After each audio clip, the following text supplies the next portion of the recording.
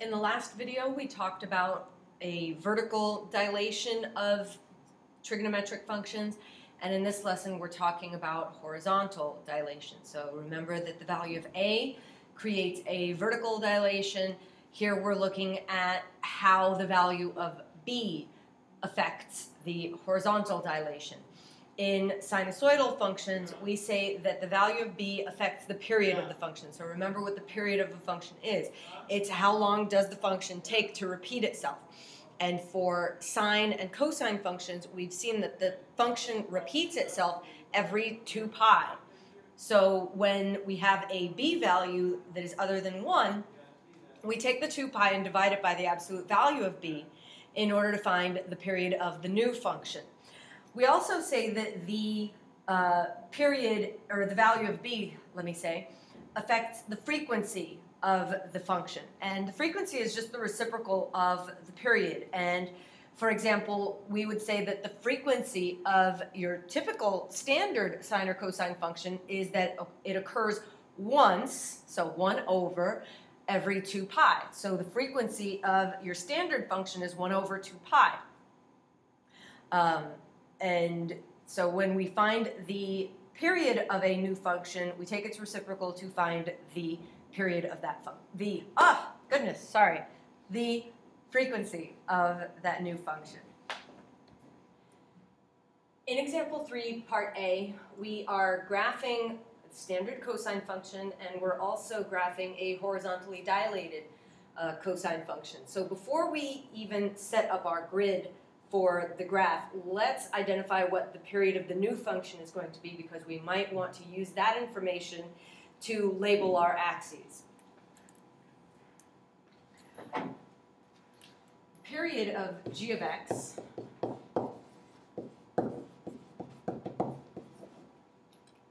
is 2 pi over 1 half because the value of b in my g function is 1 half. And if you don't see that, please realize that x over 2 is equivalent to 1 half times x. So when I simplify this, I find that the period of my function is 4 pi. And since our unit circle goes from 0 to 2 pi, but now this graph is going to be going from 0 to 4 pi, I want my x-axis to reflect that. And so instead of making my x-axis accommodate only up to 2 pi, I want to make sure that my x-axis accommodates up to 4 pi. So this time it's going to be squeezed a little bit more. This is going to be pi, 2 pi, 3 pi, and 4 pi. And I'm not even going to worry about the left-hand side because the instructions specify to graph at least one period of each function on the same coordinate axes. And since we're just kind of getting our feet wet on these graphs, um, we're going to take it as little by little and uh, step by step as we can. So I'm going to make my 1 here and my negative 1 there. So in my standard cosine function, remember, it has a y-intercept of 1, and x-intercepts at pi over 2, 3 pi over 2, and another maximum again at 2 pi. That's where the cycle repeats itself, which means I have my negative 1 minimum value down here. So here's 1 period of my standard cosine graph. Now what's going to happen, because the period of my g of x function is 4 pi, is this is going to be stretched out. So my cycle will start here still, but in the last exam in the last graph, the standard graph, where it ended here at 2 pi, now it's going to end at 4 pi. And notice how halfway between the beginning of the function and the end of the function, I had my minimum at pi comma negative 1 here. that's going to go halfway between 0 and 4 pi. So halfway between 0 and 4 pi is 2 pi, so now my minimum is here. And then also notice how halfway between my minimum and my maximum, there's my x-intercepts. So that's here and here. And so now it's just a matter of connecting the dots.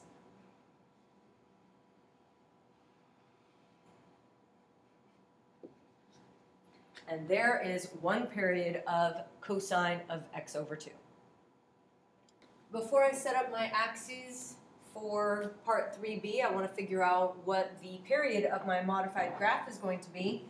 g of x has period 2 pi over the absolute value of b, which is 3. So it has a period of 2 pi over 3. Since my graph is being broken down, or has a period of 2 pi over 3, I want to break my graph, my x-axis, down into sixths of pi. And if that's not clear to you now, hopefully once I graph both functions on the grid, it'll be clear to you why that facilitates the graph of our function. So here's 2 pi. Here's 1 pi. I'm going to make this 1 and this negative 1. So one period of my standard sine function starts at 0, 0, recycles itself at 2 pi, has a, an x-intercept at pi, reaches its maximum at pi over 2 and its minimum at 3 pi over 2. So here's our standard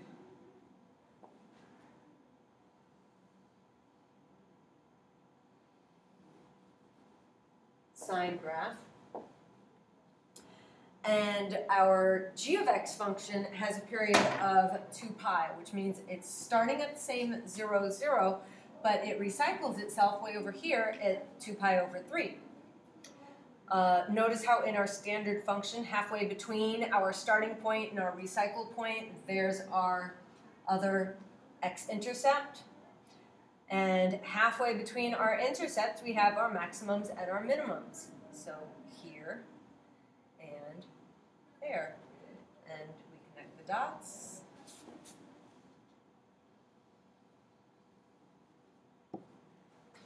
and there's our horizontally compressed g of x function. For part C, once again, before I do anything on my axes, I want to make sure I know how to break down my axes by identifying the period of the function. Period of g of x equals 2 pi over 1 fourth which equals 8 pi. So I'm going to make each box 1 pi. So here's 8 pi. Here's 1 pi. And 1, 2, 3, 4. I'm going to make this 1, 1, 2, 3, 4, and this negative 1. So my standard sine function, uh, cosine function, excuse me, this is going to be really, really smushed because remember the standard cosine function starts with the y-intercept of 1, has x-intercepts at pi over 2 and 3 pi over 2, recycles at 2 pi, and then remember halfway between those x-intercepts is my minimum value.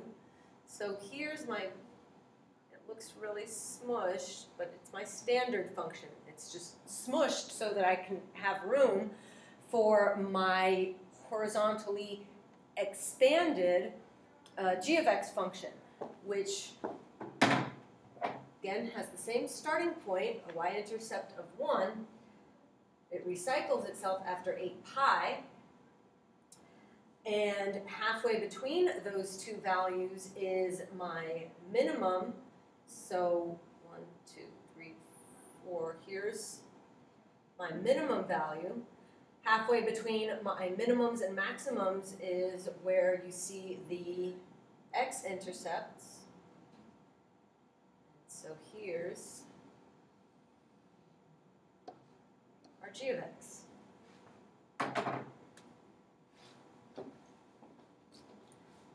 Last thing we're looking at in this lesson is taking a real world situation and writing a sinusoidal function for it.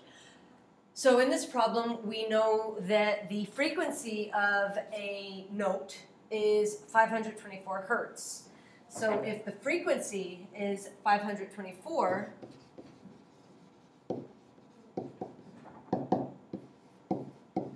then we know the period is 1 over 524. We also know that the period is found by taking 2 pi over b. And we need to know that b value so we know what to plug into our uh, sine of x equation. So we solve for b here. b is going to equal 1048 pi. we were told that the amplitude is 0.1, so A is 0.1. And so our, uh, our function is f of x equals A, which is 0.1, times the sine of 1048 pi x.